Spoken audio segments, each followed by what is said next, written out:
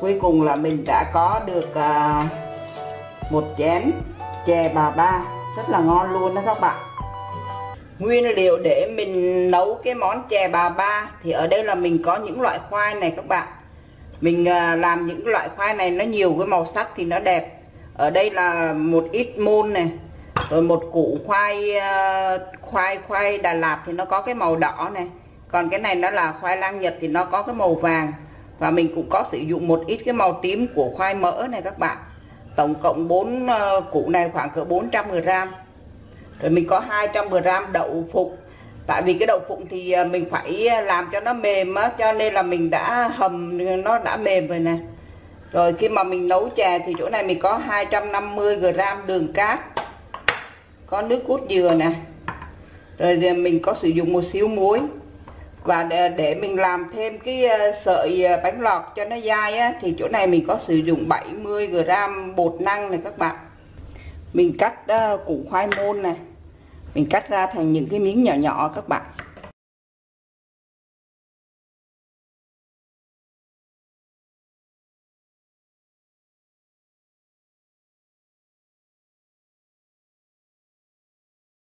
Mình cứ lần lượt mình cắt cho nó hết những cái miếng củ khoai môn này rồi tới củ khoai lang.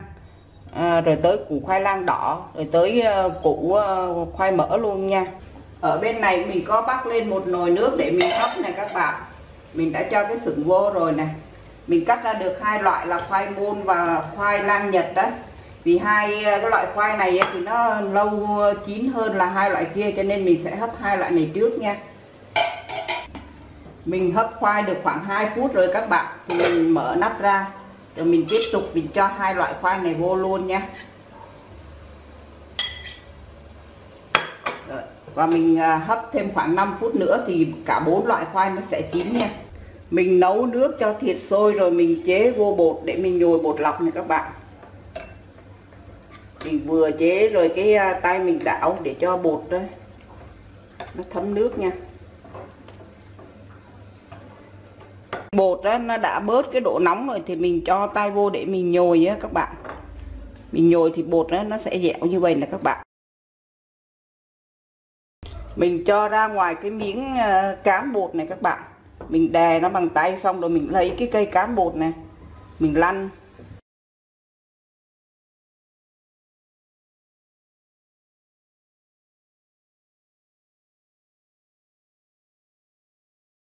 Mình bắt lên đây một ít nước, nó đã sôi rồi nè các bạn. Khi mà nó sôi rồi thì mình cho những cái sợi ờ, bột lọc khi nãy mình nhồi á các bạn. Mình cho vô để mình luộc nha. Mình cho vô rồi mình dùng đũa, mình sơ đi, để cho nó không có dính vô với nhau khi nào mà bột lọc mà nó nổi lên á, là nó chín á.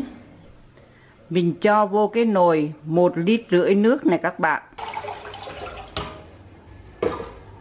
Khi mình cho nước vô rồi thì mình cho đường vô luôn nha.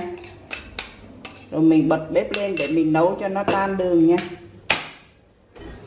Cái nồi nước đường của mình nó đã tan hết đường và nó sôi lên rồi nè các bạn.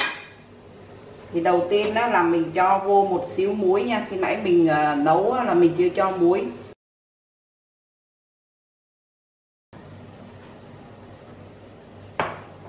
Mình đảo đều cho cái muối nó tan ha rồi, bây giờ mình cho cái đậu phụng à, mà mình đã hầm mềm á, mình cho vô trước nha.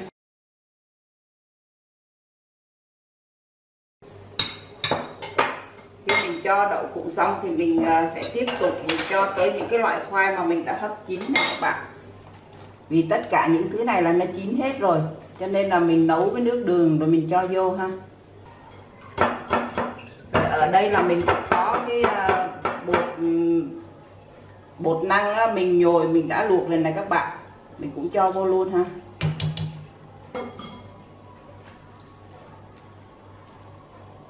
Và mình chờ cho nó sôi lại nha. Mình cho cái lon nước cốt dừa ra ngoài cái tô này các bạn. Mình cho vô đây khoảng 3 muỗng bột năng này các bạn. Rồi mình múc ít cái nước cốt dừa này nè. Mình cho vô cái chỗ bột năng này để mình đánh cho cái bột năng này nó hòa tan nha.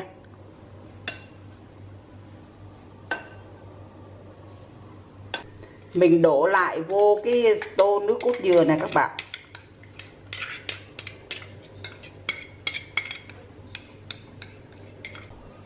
Bên này cái nồi chè của mình nó đã sôi trở lại rồi này các bạn. Mình à, khuấy đều lại để cho bột đó, nó đều với nước cốt dừa ha. Rồi mình từ từ mình chế vô này các bạn. Mình vừa chế mình vừa khuấy ha.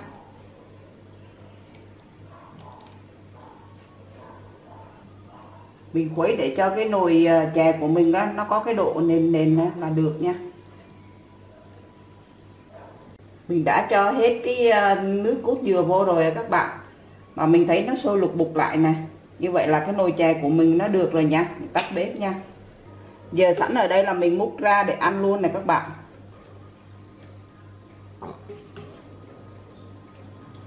Vì nó còn nóng á các bạn, cho nên là nó còn lỏng lỏng chứ để nó nguội thì nó đặc nó đặc hơn một xíu ha.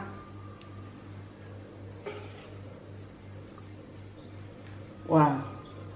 Cuối cùng là mình đã có được à, một chén chè bà ba. Rất là ngon luôn đó các bạn. Mến chào các bạn nha.